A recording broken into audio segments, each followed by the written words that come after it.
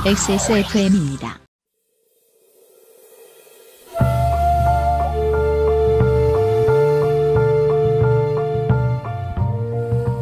양서를 만나는 시간. 학회 문학관.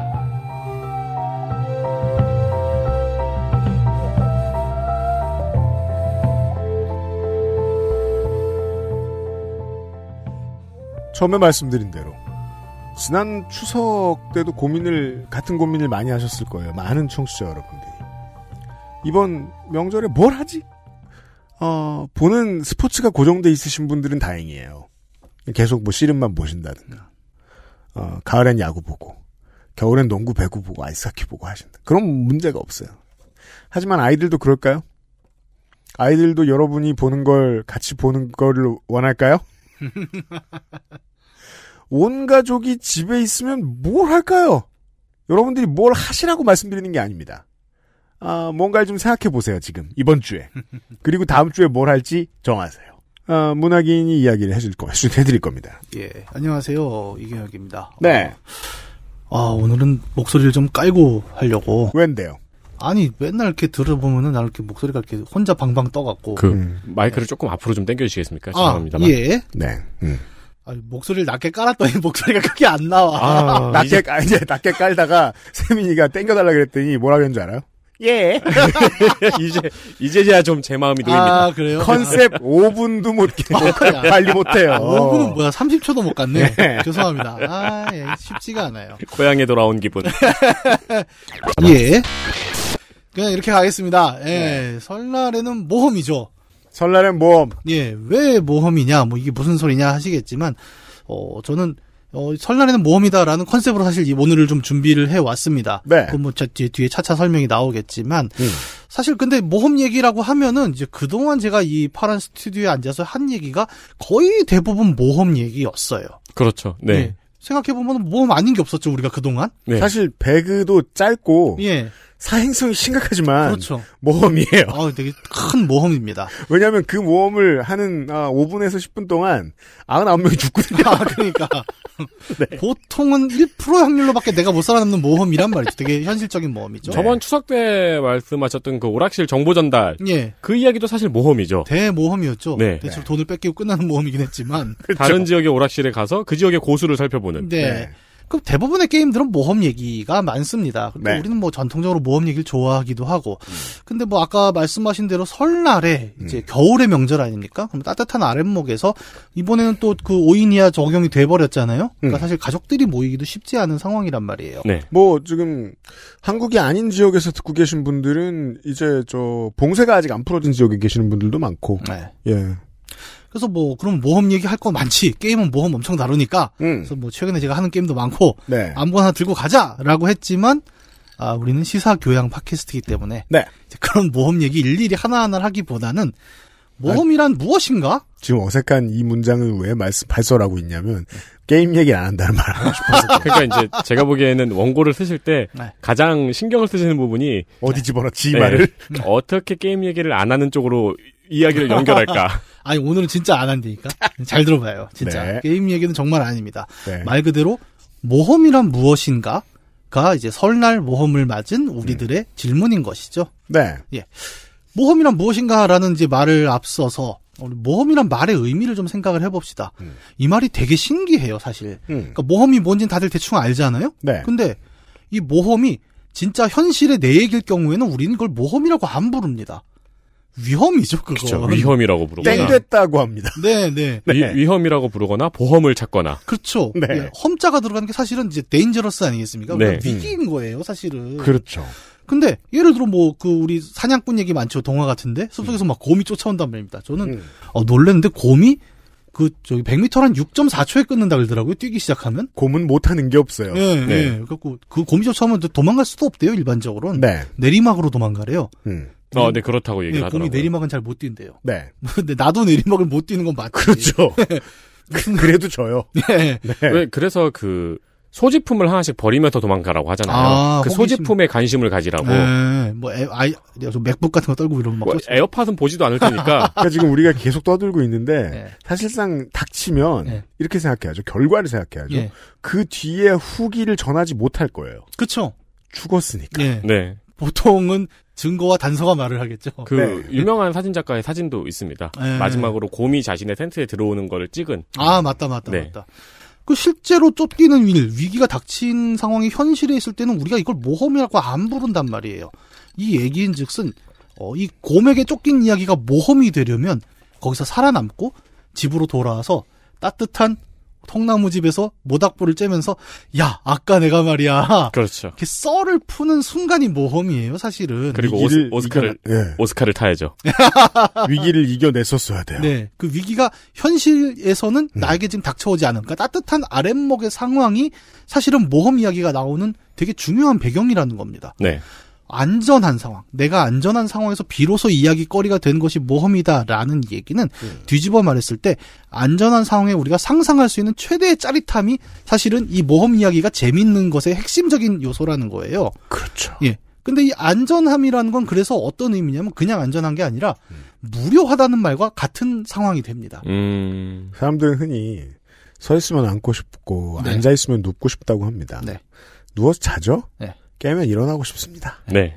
네. 그러니까 앉으면 눕고 싶고 눕고 눕, 누우면 자고 싶다는 말은 사실은 반만 맞는 말이에요. 그래서 음. 잘 생각해보면 누워 있으면 온갖 상상을 하게 되거든요. 그렇죠. 근데 그 누워서 누워 있는 상상을 하질 않아요. 네, 더 변하고 싶어. 예, 뭔가 말도 안 되는 되게 기발한 상상을 자꾸 하면서 음. 이 무료한 상황 밖을 생각하려고 하는 게 우리가 모험 얘기를 좋아하는 배경이기도 하죠. 음. 네. 어, 그게 이게 뭐 예를 들어 그런 것도 있습니다. 멀쩡히 직장 다니 잘 다니는 사람들은 항상 뭐라면 아 회사 생활 정말 재미없다. 밖에 나가서 내가 재밌는 걸 하지 언제까지 이렇게 살 거냐? 라고 얘기를 하지만 그 중에 그러고서 60살까지 다닙니다. 네, 실제로 나가는 사람 몇 명이나 됩니까? 그 나는 언제 단톡방에 그 안녕히 계세요 짤을 올려보나. 예, 예, 예. 전이 세상의 모든 그런 거 있잖아요. 막, 아, 김 부장 저 새끼 내가 진짜 오늘, 어? 막그 혼자 막 성질을 내고 상상을 한단 말이에요. 네. 하지만 현실에서 할 수 없어요. 네. 음. 예, 그거는 현실로 다가오면 모험이 아니라 위험이 되니까. 그렇죠. 예, 밖은 춥단 말이죠. 음. 그렇기 때문에 이제 모험이란 것은 굉장히 안락한 상황에서 우리가 즐기는 이야기다라는 걸 하나 발견을 할 수 있을 겁니다. 괜히 액션 영화만 틀어주는 게 아니에요. 네. 명절에. 네. 예. 명절이 가장 안락하지 않습니까? 네, 예. 그렇죠. 그리고 어 약간 도피 쳐도 되죠. 보통 명절에 친척들이 많은 마루에 나가 있으면 온갖 공격이 들어오지만 그렇죠. 별 공격이 다 들어오죠. 뭐 여러분 뭐 결혼하면 끝난다고 생각합니까? 결혼하면 이제 애 낳으라 그럽니다. 그렇죠. 이제 애 낳으면 끝날 것 같아요. 왜 애를 공부를 안 시키냐고 그렇죠. 애호 그렇죠. 교육 방식에 대한 또 네. 네. 절대 피해갈 수 없죠. 근데 그럴 때 이제 유일하게 피할 수 있는 게 컴퓨터 헤드셋에 헤드폰 하나 끼고 음. 영화 하나 보고 있으면 되죠. 그렇죠. 예, 그러면 뭐, 아, 알았어, 알았어. 보통 이렇게 대답하면은 오케이가 되는 상황이란 말입니다. 맞아요. 그 안락한 상황에 즐길 수 있는 모험 이야기라는 것이 있어요. 음. 그러면 이 중에 가장 우리가 유명한 게 뭐냐? 오래되고 유명한 거. 음. 라고 하면 이제 오디세이아라는 되게 고전부터 좀 이야기를 풀어볼 수가 있을 겁니다. 맞아요. 오디세이아는 한국에서라면 사실 그 되게 유명함에도 불구하고 실제 이 이야기를 읽은 사람은 거의 없습니다. 그냥 세계사 책에서 그 제목을 외워야 되니까 외웠지. 네. 항상 네. 그 꽂혀 있는 오 뒷세이야만 봤죠. 예, 예, 예. 이게 용어도 다 달라요. 오디세이, 오디세이야, 오뒷세이, 뭐 네. 되게 굉장히 여러 가지가 있고. 아, 히라빈 조르바 같은 거구나. 예, 그렇죠, 그렇죠, 그렇죠.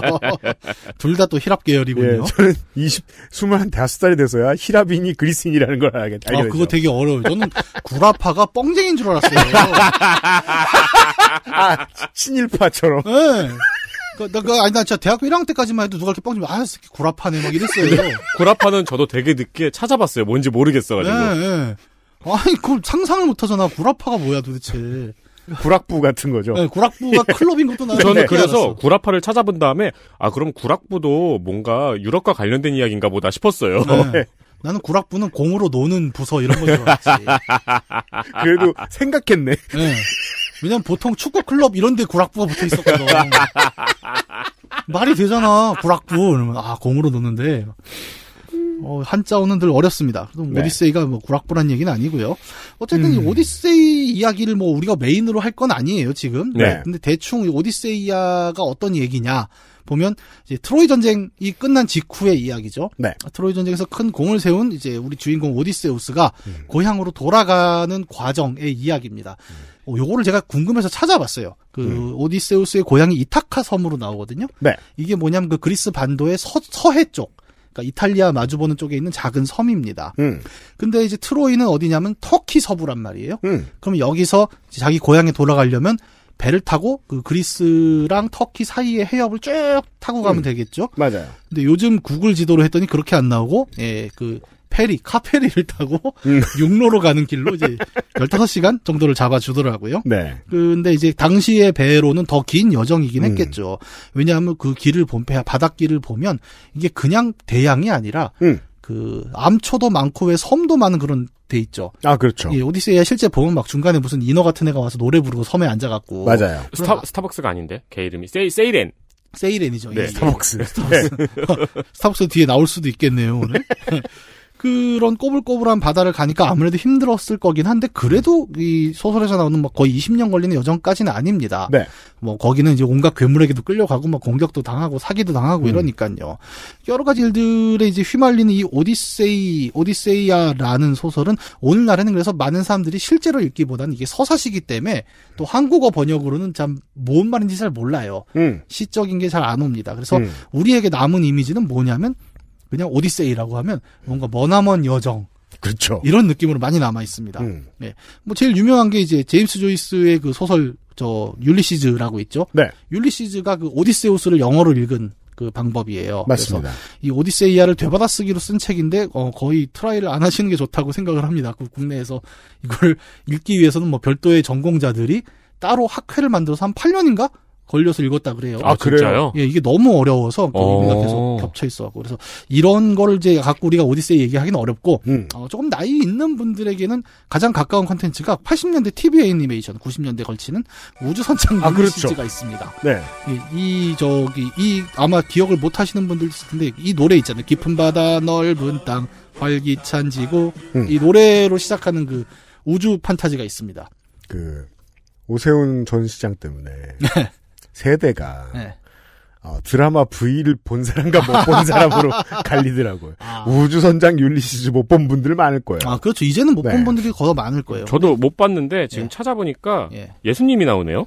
아 여기에 그 신들이 계속 나왔고 진짜 우주의 신이 나오는 그 가사에 보면 노래 가사에 오디세이아의 신들 겁나 나오잖아요. 계속 방해하잖아요 원작에서도. 음. 근데 이 만화에 보면 가- 아예 노래 가사에 뭐가 나오면 나와라 우주의 신 율리시즈가 왔다라는 가사가 있습니다. 음, 얼척없죠. 우주 굳이 나오라고 할 필요까지는 없는데. 우주의 신을 포켓몬으로 들고 다녀요? 아니 우주의 신 보고 일로, 일로 나와봐. 일로 들어와 들어와 이런 거라는 거예요. 이미 삶이 충분히 빡센데. 그러면 네. 근데 얘가 그러면 신과 맞짱 뜰 만한 무기가 있었느냐? 음. 얘는 주력 아이템이 무기가 아닙니다. 특이하게 네. 평화의 방패라는 그 유리 같은 투명 방패를 쓰고 있어요. 음. 이 얘기를 왜 했지? 하여튼 그- 모험이에요. 아 그렇죠 모험 이야기죠. 오디세이라는 모험을 가지고 이제 돌려 한 얘기인데 음. 어, 굉장히 차라리 오디세이아를 만약에 이해하고 싶다면은 이 음. 애니메이션을 보시는 것도 저는 추천을 드리는 게 네. 원작을 되게 많이 갖다 그대로 썼어요. 음. 그냥 우주 배경으로 바뀌었다 싶을 정도로. 그래서 뭐 오디세이를 관련한 이제 여러 가지 뭐 사실 스페이스 오디세이로는 영화 음. 그걸로는 오디세이 원전을 좀 알기는 어렵죠. 네. 거기서는 약간 그냥 머나먼 이야기로 썼으니까. 네. 음. 그래서 오히려 오디세이를 좀 알고 싶으면 그 애니메이션 을 보시면 좀 재밌을 거다라는 얘기를 하는 건데 음. 뭐 얘기가 중요하다는 게 아니라 뭔가 이제 대굴대굴 구르면서 고생한 이야기들을 편안하게 따뜻한 아랫목에서 귤 까먹으면서 보고 듣는 것이 갖는 즐거움 이 모험이다. 라는 이야기고 그 원전에 오디세이아가 있었다라는 얘기를 하고 있는 거죠. 물론 이 adventure fiction이라는 것을 뭐 딱히 이 공부하는 사람들이 공식적인 장르로 인정할 필요성도 느끼지 못한다고 저는 알고 있습니다. 네. 그래서 얻어지는 게 별로 없기 때문이라고 생각하기 때문이겠죠. 네. 그럼에도 불구하고 소비자들의 입장에서는 이 장르는 분명히 존재해요. 어, 많아요. 이, 특히 이제 지금 뭐 되게 옛날 얘기를 했으니까 우리가 고전 시대의 모험들을 좀 이야기를 이것저것 찾아볼 필요도 있을 겁니다. 네. 어, 오디세이아가 유명했고 또 빈란드 사가라고 해서 사가라는 게 그 아이슬란드 바이킹 문학에서 역사 혹은 역사에 관련된 뭔가 가리키는 이제 그런 거예요. 예를 들어 음. 우리가 대중문화에서도 요즘 많이 쓰죠. 코난 사가라던가 음. 음. 게임 중에는 그 저 북유럽 바이킹 얘기 다룬 저 배너 사가라는 게 있습니다. 그 네. 옛날 게임 중에 사가 뭐였죠? 라스탄 사가. 아, 네. 네, 라스탄 사가 같은 것도 있고 음. 사가라는 게 약간 그런 이제 무용담에 가까운 모험 서사, 역사물들을 네. 가리키는 용어인데 음. 어, 일본에서 나온 만화도 유명한 게 또 빌란드 사가. 빌란드 사가라는 만화로 알고 계신 분들이 많이 것 그거는 같아요. 제가 굉장히 팬입니다. 아, 그래요? 네. 너무 안 나와요. 아, 저는 만화를 많이 안 봤는데 어제 그 빌란드 사가라는 것 자체가 어디를 가는 거냐면 이제 아이슬란드에 있는 정착한 바이킹들이 캐나다 동부의 어느 섬에 들어가서 이제 빈란드라는 곳에 정착을 했다. 그렇죠. 근데 그게 이제 뭐 요즘 그러면은 그건 김씨 표류기고 그 이제 콜럼버스가 미대륙을 발견하기 전에 예. 바이킹들이 갔다는 얘기죠. 네. 훨씬 전에 정착을 했다. 그 유적이 발견이 됐죠? 네, 발견됐습니다. 네. 거기가 이제 오늘날의 캐나다 뉴펀들랜드로 네. 이제 확정이 됐고, 음. 어, 여기는 이제 그 아이슬란드 출신 바이킹, 이제 레이프 에이릭손의 모험단이 중심이 되는 거예요. 음. 그리고 요것도 이제 최근에 밝혀진 바로는 뭐 말씀대로 빈란드를 처음에는 빈란드가 어디냐, 음. 유적을 찾아라. 가봤더니, 어, 처음에 뭘 생각하면 빈이라는 게 보통 이제 와인, 계통이잖아요. 그래서 음. 네. 그럼 포도가 나는 어디가 있을까 막 찾았는데 아, 누가 찾아보니까 바이킹 고대 바이킹으로 빈이 풀이에요. 음. 그래서 그럼 목초지가 많은 데를 찾자 하다가 이제 찾은 게 그 뉴펀들랜드의 유적인 거거든요. 네. 음. 그래서 이렇게 발견이 됐고 이 이야기들도 또 바이킹 사가들이 굉장히 재밌습니다. 약간 그 험난한 모험 이런 쪽으로는 굉장히 잘 돼 있죠.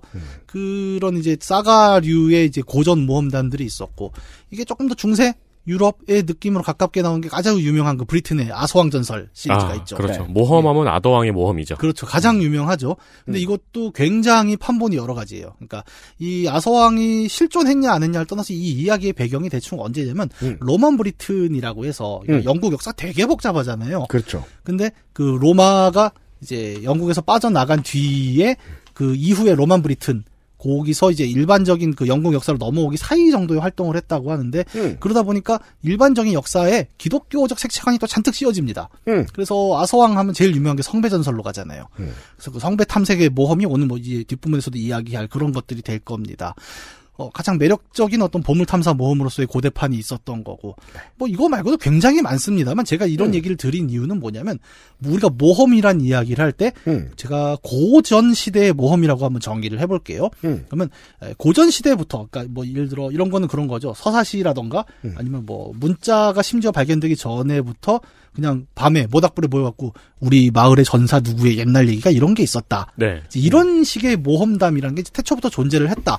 그리고 네. 그 중에 누군가가 소위 말하는 이제 구라빨이 좋은 음. 사람들이 글을 쓰거나 구라파가. 네, 구라파들이 어, 이거를 정립해서 하나의 이제 양식으로 만들어낸 형태로 아, 이제 모험의 이야기, 모여서 구락부가 됐죠. 네, 구락부가 되는 형태. 네. 그런 이제 초창기의 유형이 있었다라는 걸 먼저 전제를 하자는 거고요. 네. 어, 이건 예를 들어서 뭐 아까 계속 모닥불 얘기를 하지만 이제 사냥이 끝나고 혹은 음. 추수가 끝난 그 안락한 순간에서도 아, 다이나믹한 카타르시스가 필요해 라는 인류의 좀 본능적인 욕구 에서 발생한 이야기 시리즈다라는 음. 게 이제 첫 번째 전제입니다. 네. 그리고 어, 모험은 여기에 머무르지 않죠. 특히 오늘날 우리가 아는 모험은 절대 이 버전이 아닙니다.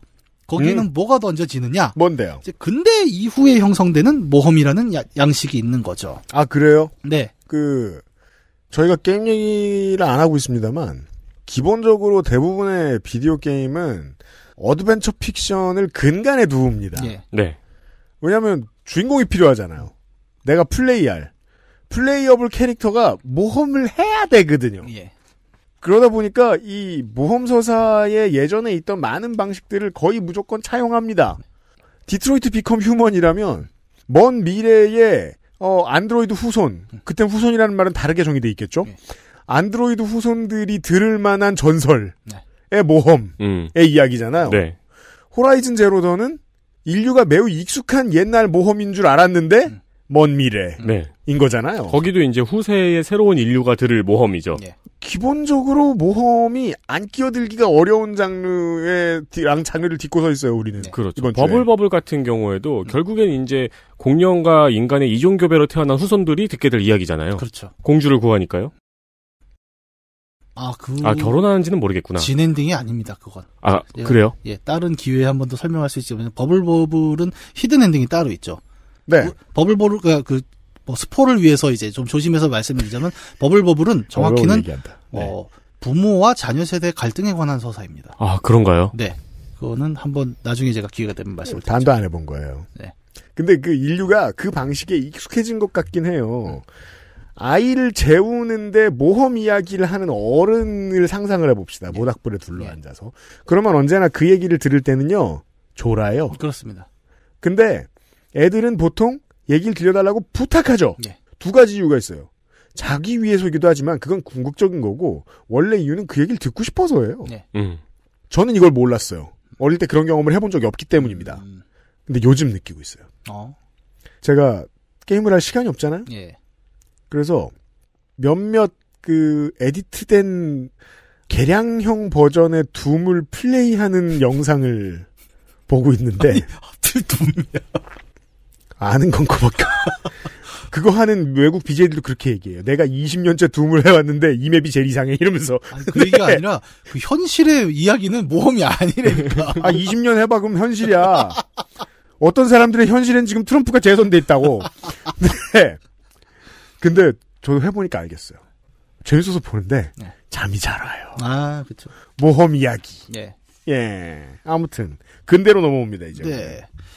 고전 시대에서는 이제 어떤 이야기였죠. 아까 얘기한 대로 그냥 안락한 곳에서의 이야기였던 모험이라는 거는 우리가 알고 있는 근대 초중기, 그다음에 현대 직전까지의 문제에서는 현실적인 모험이 됩니다. 음. 어, 예를 들어 보죠. 우리 저기 그런 거 예전에 여름에 우리가 한 때 이야기했던 대항해 시대 같은 경우도 우리가 이제 근대적 모험의 가장 대표적인 케이스잖아요. 그럼요. 근데 생각해 보세요. 우리는 그걸 모험이라고 부르지만 당대에 바다로 떠밀려 갔던 그 선원들에겐 그게 모험이었겠습니까? 직업이자 생사예요. 네, 네. 그렇죠. 그러니까 시가 당대에는 그게 비즈니스였어요. 정확히는. 그렇죠. 그 많은 뭐뭐 저기 엘리크 왕자라던가 콜럼버스라던가 이 사람들의 일대기를 보면 알겠지만 음. 이 사람들은 모험가라기보다는 펀딩을 어디서 해오지? 네. 음. 선원은 어디서 구해오지? 굉장히 사업적인 선택을 하고 있었던 그런 기록들이 남아 있지 않습니까? 사업, 정복, 제국주의 등등이에요. 네, 네. 그러면 이제 그 예전에 어떤 용사의 모험담 같이 남았던 고전 시대에서 근대로 넘어오면서는 이 모험이라는 게 어떻게 바뀌었는가 좀 살펴봅시다. 음.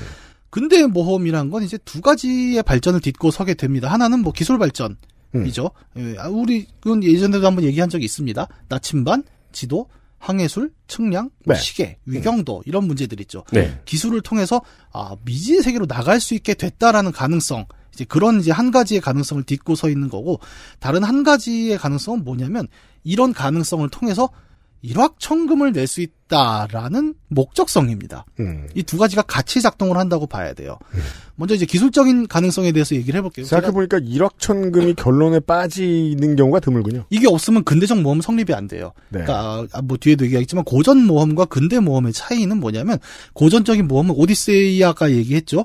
살아남는 것만으로도 모험 이야기가 됩니다. 음. 근데 근대 이후에는 그게 아닙니다. 그렇죠. 아까 얘기했잖아요. 이거는 비즈니스였다니까요. 당시에 그렇죠. 이 비즈니스 얘기가 모험담이 되려면 후일담으로 성공해야 됩니다. 그러니까 맞아요. 누가 예, 쫄딱 망한 사람 이야기는 모험으로 얘기 안 해요. 그래서 얘기가 그렇게 끝나면 애들은 잠에서 확 깨요. 예. 쫄딱 망해서 오두막에서 살았답니다. 네, 그건 뭐야 그게. 할아버지 그게 뭐야? 그러니까 이왕이면은 백, 섞어줘. 백설공주가 일곱 난쟁이에게 얼마씩 줬는지. 예, 그렇죠. 그 7분의 1은 소수점 몇 자까지 끊었는지 그렇죠. 그런 게 중요한 거예요. 그리고 뭐이 이제. 이제 노후까지 계속 보장을 해줬는지. 예, 연공서열이 있었겠죠, 일곱 명이. 그렇죠. 음. 그런 문제들. 그러니까 기술적인 어떤 가능성 이라고 아까 잠깐 얘기를 했지만 이 기술적이라는 건 자연과학적인 기술만은 아닙니다. 네. 예를 들어서 뭐 이런 것 보죠. 그러니까 대서양의 큰 파도를 견딜 수 있는 배가 필요하잖아요. 대항해 시대에는. 네. 그러면 이제 그 설계와 제조는 가능해졌습니다. 드디어. 네. 근데 그게 단지 내가 설계도를 만들 수 있다는 것만으로 구성이 되느냐? 음. 아니에요. 이 함선을 지어내고 거기에 충분한 선원을 태우고 식량과 장비를 실을 돈이 필요합니다. 그렇죠. 예. 근대의 모험. 그러니까 전설상의 그냥 이야기 속의 모험이 현실의 어떤 모험으로 나타나기 위해서 필요했던 것은 권력 혹은 자본이 집중될 수 있는 새로운 사회 체계가 필요했다는 거고 기술적 발전이란 건 단순히 자연과학의 문제가 아니었다는 점이 여기서 좀 드러나요. 모험할 자들에게 돈을 줄 스폰서가 그 이해에 맞는 스폰서가 많아져야 된다는 거예요. 네. 이거를 뼈저리게 느낄 수 있는 게 오히려 중세를 다룬 게임들을 좀 해보면 되게 확 옵니다. 음. 어, 예를 들어 뭐 작년에 나왔던 어쌔신 크리드 바랄라 같은 경우는 이제 바이킹 시대의 얘기를 다루는데 맞습니다. 그 중에서도 이제 브리튼, 영, 지금의 영국에 상륙한 그 바이킹 얘기를 다룬단 말이에요. 네. 이게 대략 한 서기 8세기 9세기 경의 영국인데 음. 여길 가보면 이제 왕들이 되게 많아요. 그때 칠왕국 시대라고 하죠. 그왜 왕좌의 게임의 그 칠왕국이 그 영국 칠왕국을 가져왔잖아요. 음. 근데 왕국을 가보면 또 이 어쌔신 크리드 시리즈는 고증을 엄청 잘하잖아요. 맞아요. 왕궁이 거지 같아요. 가보면 우리가 생각하는 그런 왕궁이 절대 아닙니다. 음. 자, 그럼 우리 나의 궁전으로 가세요 하는데 어디 나무 오두막을 가요. 그렇죠. 그러면 왕자가 뭐냐면 나무 의자에 이렇게 가죽 깔아놨습니다. 음. 그리고 거기 왕이라고 앉아 있어요. 왕국 근위대를 호출하면 한 20명이 옵니다. 음. 이게 왕이라는 게 완전 거지 왕이에요. 잘 음, 보면. 네. 그런 왕이 일곱 명이 있어도 내가 보기엔 절대왕정 시대 왕하고 비교가 안 되는 되게 낮은 권력입니다. 음. 근데 그 정도의 집중되는 권력과 부만으로는 그런 거대한 배를 만들 수가 없는 거예요. 선원도 태울 수가 없고. 저 뭐야 또 다른 게임 중에 중세 다른 게임 중에 크루세이더 킹즈라는 게임이 있죠. 이 게임이 보면 대략 한 7, 8세기부터 나중에 절대왕정 시기까지를 쭉 다룰 수가 있는데 초반에 돈이 너무 안 모여서 군대를 못 만들어요. 음. 그래갖고 그, 그, 이 게임 3의 경우에는 병력이 이제 두 가지가 나오는데 하나는 징집병. 말 그대로 내 영지에 있는 농, 농부들을 모아오는 음. 그 다음에 이제 소위 말하는 전, 전문 전투병이 따로 있어요. 용병. 예, 용병이 아니에요. 그러니까 그, 뭐랄까? 전문 전사 집단을 따로 돈을 주고 굴립니다. 네. 음. 근데, 어, 이게 되게 혁, 싸움을 잘하는데 돈이 없어서 못 만드는 거예요. 음. 근데 이게 산업이 발전되고 이제 중앙으로 세금이 더 모이면 모일수록 그 군대를 많이 갖게 되는 형태가 되거든요. 다시 말해, 어, 그 대항해 시대 이전까지는 기술의 문제가 아니라 한편으로는 권력과 돈이 안 모여서 못 만들었다는 겁니다. 음. 음. 그 정도의 항해 모험을 하기 위해서는 굉장히 큰 자본의 집중이 필요했는데 그게 어떻게 만들어지느냐? 이게 이제 근대적인 모험을 다룬 소설 하나에서 조금 힌트가 보여요. 보물섬이라는 소설이 있죠. 네. 한국에서는 마찬가지로 소설보다는 애니메이션으로 더 유명합니다. 아 그래요. 네. 음. 이것도 애니메이션 한 두세 번 방영이 됐었어요. 음, 저는 소설로 먼저 보는 바람에 입감을 좀 못했었어요. 애니메이션 아, 나왔을 때. 예. 좀 다르죠. 네. 그, 이 근대 해양 모험의 거의 prototype이라고 봐도 과언이 아닐 정도로. 그렇죠. 네, 그 과정이 잘 설명이 돼 있습니다. 바다, 네. 해적. 그다 나와요. 네. 그, 여기 가장 유명한 악당이 존 실버라고 네. 외다리 악당이 나오죠. 음. 이 악당이 우리가 오늘날 생각하는 그 해적 악당의 거의 모든 걸 다 가지고 전형입니다. 있죠. 예, 어깨에 앵무새까지 달고 있습니다. 그렇죠. 그냥 딱 그 모양을 이제 처음으로 드러낸 캐릭터이기도 한데 음. 뭐 내용은 간단해요. 여관집 아들이 우연찮게 보물지도를 하나 입수를 했다. 네. 그래서 보물을 찾아 떠난다. 음. 이 모험의 과정인데 이 앞부분 과정이 굉장히 흥미롭습니다. 음. 배랑 선원과 물자를 준비하기에는 이 소년과 엄마가 운영하는 여관집 자본으로는 불가능하단 말이에요. 그렇죠. 그래서 이 소년과 엄마는 뭘 하냐면 동네 마을에 나름 그 실력 있는 지주 혹은 지도자층들을 찾아갑니다. 네. 그래서 참가하는 모험의 동료들이 의사 리브지, 음. 치안판사 트릴로니. 그러니까 이 사람들이 무슨 전사, 마법사, 공수라서 들어온 게 아니라 네. 동네에 돈 있는 유지들이라서 들어와요. 그렇죠. 예. 그럼 이 사람들이 모여갖고 뭘 하느냐? 각자 지분 투자를 합니다. 맞아요. 네. 그럼 내가 얼마를 낼 테니까 배를 만들고 뭐 함 선원 선장을 사고 선원을 채우자. 그래서 느껴집니다. 이것이 어, 대항해 시대 혹은 그 이전 초기라고 볼수 있는 형태다. 투자의 형태다. 네. 왜냐하면 투자한 사람들이 굳이 배까지 타거든요. 네. 꼭 그러지 않아요. 그렇지 않아도, 이후에는. 예, 예, 그렇지 네. 않아도 되는데 이때마다 같이 탄단 말이에요. 음. 그래서 어, 일종의 초기형 주식회사의 모습을 보여주고 그 주주 기반의 자본가 집단이라고 부를 수 있는 네. 이제 왜냐하면 이제 보물지도 지분을 갖고 있는 짐, 네. 그다음에 어, 배에 이제 돈을 투자한 리브지와 트릴로니 음. 이런 이제 자본가 집단과 배에 타고 있는 악당 존 실버를 중심으로 한 네. 임노동자 집단이 계속 대립을 해요 배 안에서. 그렇죠. 사실은 자본과 노동 갈등입니다. 이 얘기의 핵심은. 음. 음. 그러니까 모험이라는 게 어, 우리가 생각하는 그 근대 모험의 prototype을 만드는 조건에는 음. 굉장히 사회 제도적인 측면이 있다는 거예요. 맞아요. 예, 이 과정은 그냥 예 노동과 자본의 관계예요. 네. 항해 자체가. 그리하여 이 그 작가 스티븐슨의 시각이 극히 반노동적임을 예, 네. 내내 아, 작품을 통해 알 수 있는데 이건 나중에 빨갱이가 되고 안 거지. 그 전까지만 해도 이 나쁜 놈들 해적들 네. 이렇게만 생각했죠. 그리고 일본에서 만든 그 애니메이션에서는 그걸 또 뒤집어서 네. 존 실버에게 하지만 그도 멋진 사나이였어라는 이제 캐릭터를 하나 더 부여하게 음. 되는 거죠. 음. 어, 어쨌든 뭐 잠깐 보물섬 얘기를 했지만 절대왕정 같은 이제 중앙 집중형 권력 체계 혹은 주식회사처럼 이제 흩어져 있는 돈들을 자본으로 모아내는 체계 이런 것들이 이제 근대 초기의 모험들을 어떤 자본 집중을 통해서 만들어낸다 라는 것은 결국 우리가 오늘날 알고 있는 그 모험이라는 것의 프레임에 음. 사회제도 특히 이제 자본주의라는 제도가 굉장히 크게 작용을 하고 있다는 거예요. 그쵸. 그게 첫 번째 이제 산업적 그다음에 모험을 만들어낸 배경이었다면 모험은 필수적인 산업이었다 어떤 시절에는. 네. 네. 그러면 이 모험의 목적 아까 음. 우리 얘기했던 그 목표로서의 가능성 음. 보물이라는 게 뭐냐? 그럼 목적이 있어야 이 모험이 성립하는 거잖아요. 아까 얘기한 대로 근대적인 건. 그럼요. 그냥 내가 배를 타고 갔어요. 음. 그럼 실버랑 존 실버랑 싸웠어. 음. 이게 모험이 되지 않습니다. 그렇죠. 제목이 보물섬이잖아요. 그럼 보물이 있어야 되는 거예요. 음. 그럼 보물은 어떻게 생겼는가? 아까도 얘기했지만 중세 고대에는 이만큼의 보물이 생기지 않았다니까요. 뭐 아까 잠깐 얘기했던 그 바이킹 얘기를 조금 더 하면 음. 넷플릭스에서 제가 최근에 또 라스트 킹덤이라는 그 동일한 시대를 다룬 드라마가 있어요. 네. 우연찮게 두 개가 겹쳐갖고 제가 여기서 거의 바이킹처럼 살고 있거든요. 그냥 보면 되지 굳이 바이킹처럼 살 이유는 뭐야? 아 집에서 막 이렇게 왜 와이프한테 건배하면 스콜 막 이러고 아, 뭐야 막 이러고. 이게 약간 그런 게 있지 않아요? 뭔가 컨텐츠에 몰입하면 그렇게 됩니다. 저는 예전에 그 영화 옹박 있잖아요. 토니 자 나온 거. 네. 네. 그걸 보고 나서 친구들이랑 계속 엉덩이에 로우킥을 하면서 나왔거든요. 그리고 막 화가 나면 코끼리 내놓으라 그러고. 아 그건 투예요 투. 알아요. 네, 옹박 원하고 다르다. 하여튼 이게 굉장히 몰입해서 보고 있는데 그 사실은 저도 옛날에 그 드라마 볼 때 네. 그 아마존에서 그 해적용 머그컵을 산 적이 있어요. 나무로 이렇게 된. 네. 한 컵에 이렇게 저 2리터씩 담는 거. 네, 갖고 싶지 않으니까 파인트라 그러나 그걸? 네. 근데 맛 없어요. 거기 먹으면 근데 진짜 나무로 만들어진 거예요? 옷이 더러워지고 아니죠. 나무가 씌어져 있죠. 아, 거예요? 스테인레스에. 스테인레스에? 아. 그 뭐 어차피 카메라 감독님도 컵 안쪽은 안 찍어주니까 아니, 근데 기분은 그것보다는. 그, 저기, 그게 더 갖고 싶네요. 뿔. 꿀, 아 네. 미드 먹는 그 꿀. 네, 네. 아.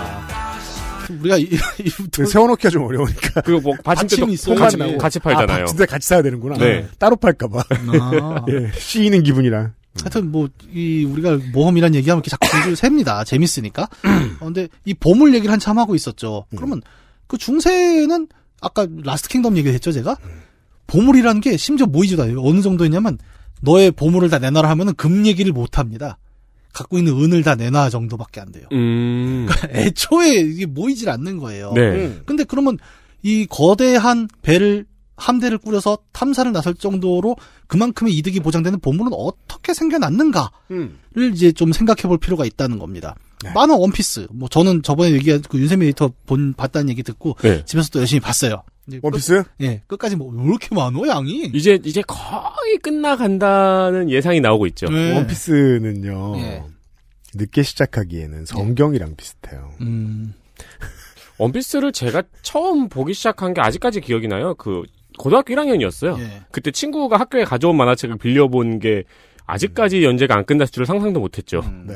아니 나는 그러니까 나도 이제 원피스 처음에 나올 때도 이제 그때도 있었으니까 네. 봤는데 어떤 느낌이었냐면 그러니까 약간 그런 순정만 한 줄 알았어요. 왜요? 원피스. 아 처음에 그렇죠. 예. 꽂혀 있는 것만 보면은 아, 그, 아니, 그래요? 예, 그냥 그렇죠. 뭐 그런 느낌이었지 뭐, 뭐, 투피스. 아니, 옆으로 꽂혀 있는 것만 봐도 해골이 있는데. 아니, 그러니까 그걸 본 게 아니라 이게. 들었으니까. 원피스가 재밌대. 뭐, 투피스, 쓰리피스 뭐, 그냥 그렇게 생각을 하는 거지. 그래갖고, 어, 그런가 보다 했는데, 이제 놓쳤어요. 그래갖고 때를 놓친 건데, 이제 다시 봤는데, 대해적 왕이 네. 세상을 놀라게 할 보물을 내가 숨겨놨다라는 선언을 하지 않습니까? 그리고 네. 대해적 시대를 열죠. 예, 그러면서 이제 대해적 시대가 열리는 이 장면이 어떤 그 보물이란 게 무언가를 되게 잘 드러낸다고 저는 생각을 하거든요. 음. 그러면 실제로 이 보물의 모티브가 된 어떤 역사가 있나? 네. 를 찾아보면 어, 몇몇 해적들의 이야기가 나옵니다. 그렇죠. 네. 프란시스 드레이크라는 영국의 군인이자 해적 의 중간 정도의 캐릭터성을 갖는 맞아요. 인물이 있습니다. 음. 엘리자베스 1세기에 활약한 이 인물은 이제 주로 1500년대에 카리브해를 무대로 활약을 해요. 음. 어, 가장 많이 이룬 업적이 뭐냐면 아메리카에 이제 생기기 시작한 스페인 식민지를 털어먹는 겁니다. 음. 맞습니다. 영국도 해양 제국이고 스페인도 당시 해양 제국이었는데 음. 이제 스페인이 좀 먼저 앞섰잖아요. 식민지나 이런 쪽에서. 네. 그러니까 영국은 뭘 하냐면은 이제 사략이란 걸 하죠. privateer라고 하는 그러니까 어 그냥 네가 가서 노략질을 하는 겁니다. 네. 산업입니다, 일종의. 네. 그것도 허가서가 있어요. 사략 허가서 네. 이제 발급을 해주고. 음. 그래서 이제 털어먹으라고 시키는데 그 중에서 이제 프랜시스 드레이크가 스페인 보물을 털어먹는데 아주 이제 일가견이 있었던 그렇죠. 모양이에요. 털어먹고 와서 영국 왕실에 꼬박꼬박 또 세금 내고 아 그럼요. 네. 네. 상납하고 네. 그래서 너무나 잘 털었고 이제 스페인이 하도 학을 떼면서 이 사람 별명이 이제 El Draco. 용이죠, 용. 예. 네. 이런 정도 그러니까 드레이크 갖고 아마 말장난을 한 것 같은데. 음. 어, 맞아요. 예. 존경받는 직업이죠, 해적은. 맞아요. 네. 그래서 이런 어떤 해양 제국이었던 영국이 식민지 개척에서 늦었던 스페인을 쫓아가기 위해서 굉장히 노력을 했던 음. 그런 과정에서 음지에서 활약을 한 인물이고 그래서 이제 군인이면서 동시에 해적으로서의 정체성이 굉장히 강했던 거죠. 그렇죠. 이제 당시의 정부들의 당시의 이 절대왕정 정부들의 입장은 이렇다는 거죠. 아니 전면전을 하는 것보다 네. 이게 군인도 덜 들어가고 사람도 덜 죽고 외교 문제도 덜 생기는데 네. 돈은 또 들어와 네. 음. 얼마나 낫냐라고 안전 그러니까 지금 시- 시계에 비, 비춰보면은 절대로 말이 안 되는 이게 더 안전하다라고 네. 믿었던 거죠. 이게 굉장히 또, 아, 제가 게임 얘기를 잘 안 하려고 했는데 오늘 어떤 게임에서도 드러나냐면 두 가지 게임이 얘기 안 할 수가 없는 게 어차피 어쩔 수 없이 얘기할 거예요. 예. 나중에. 문명 시리즈랑 음. 이제 토, 저기 토타로 시리즈에서 요 개념이 나와요. 뭐냐면 둘다 해양에 이제 무역 루트들이 발생을 하게 되는데 네. 그 사략선이라는 유닛들을 동원해서 무역 루트에 세워놓고 음. 지나가는 배들을 약탈을 해먹을 수가 있습니다. 네. 이게 굉장히 수입이 짭짤해요. 음. 어, 그리고 이제, 왜냐하면 이제 식민지에서 어쨌든 본국으로 재화가 들어가야 이제 최종적으로 완성이 되는 거 아니겠습니까? 근데 음. 공해상의 바다에서 털어먹는 거는 음. 뭐 지금처럼 GPS가 있는 것도 아니고 음. 보물에. 그러면 그냥 중간에 없어지면 끝인 거예요. 그렇죠. 네. 말 그대로 여기서는 그 장부가 없는 거래가 이루어지는 거죠. 네. 이렇게 나타나니까 이제 그런 게임들에서도 이 무역 루트 중간을 털어먹는 게 굉장히 큰 역할로 차지를 하게 되는 거고 음. 실제로 그 절대주의 왕정들의 어떤 해외 무역에서도 이런 사략이 허가됐던 건 아 그렇게 가져오면 뭐 이런 거예요. 아니 우리가 뺏었냐? 네가 뺏긴 거잖아. 어디 이름 모를 해적한테 그렇죠. 이래버리고 그렇죠. 우리 국고에는 들어오는 겁니다. 그렇죠. 다만 이제 저 장부가 없는 거래다 보니까 이제 드레이크 같은 이제 유명한 인물들도 당연히 다 상납을 하진 않아요. 그 원시적인 형태의 용팔이죠. 네, 그렇죠. 그러면서 이제 장부에 없는 거래들이 이제 어딘가에 쌓인 거예요. 네. 이러면서 이제 소위 말하는 안 보이는 그 이거를 약간 분식회계라고 표현해도 되나? 음. 그런 식의 그 히든 계좌, 그쵸. 그게 쌓인 게 은닉 재산. 네, 은닉 재산 그렇죠. 그게 보물이 되는 그렇죠. 거죠. 왜냐면은 전설은 계속해서 구전으로 커지잖아요. 드레이크는 바다에서 와- 뭐 엄청나게 많은 그 평생 그렇게 살았대 엄청나게 네. 많은 배들을 약탈하면서 그 재산을 다 어디다 놨을까? 당연히 숨겨놨지. 어디에? 예. 어디 무인도에. 네. 그 무인도가 어디 있냐? 이제 그럼 이제 그 나중에 다른 게임들이 막 그게 어디에 있는데 단서들을 막 찾아가고 이러는데 그리고 이때 당시에 이 다른 배들도 기회가 되면 해적선이 아니어도 기회가 이제 공해상에서 다른 배를 만나면 일단 한번 붙어봤다는 게 네. 배를 하나 납포를 하면은 네. 그 이득이 어마어마했대요. 어 그럼요. 그러니까 뭐 몇백 년치의 월급을 한 번에 땡길 수 있는 방법이어서 실제로 선원들도 약탈에 굉장히 적극적이었다고 나포 이제 사략에 굉장히 적극적이었다고 하더라고요. 네. 주식 같은 거죠. 네. 네. 네. 답은 없고 누구는 벌었대고 우리가 아마 내일 마지막에 그 얘기를 하게 될 것 같은데. 가는데 이렇게 배 깃발에 게임스탑이라고 써 있고 그렇죠. 그 한 방의 역전 기회가 있었기 때문에 이런 이제 노략질이 성행을 했던 겁니다. 굉장히 네. 현실적인 거였고. 이런 얘기를 했죠. 중세의 모험, 해양 모험들은 기술적인 문제, 그다음에 사회적인 문제, 그리고 한 방에 뭔가를 털어먹을 수 있는 강력한 보물의 집중이라는 것들이 이제 뭉쳐서 실제적인 모험을 만들어냈다. 맞아요. 그리고 그게 이제 시대가 지나서 우리는 어, 그런 대해적 시대가 아니니까 야 재밌는 모험이다라고 이야기를 할 수 있는 음. 시대를 맞았다. 그러네요. 예, 그런 얘기를 할 수 있었다는 겁니다. 음. 이게 이제 근대 초중기의 이야기였다면 근대 후반에 들어오면 조금 더 새로운 또 다른 모험의 프로토타입이 하나 나오는데 뭐죠? 로빈슨 크루소예요. 로빈슨 크루소. 네. XSFM입니다.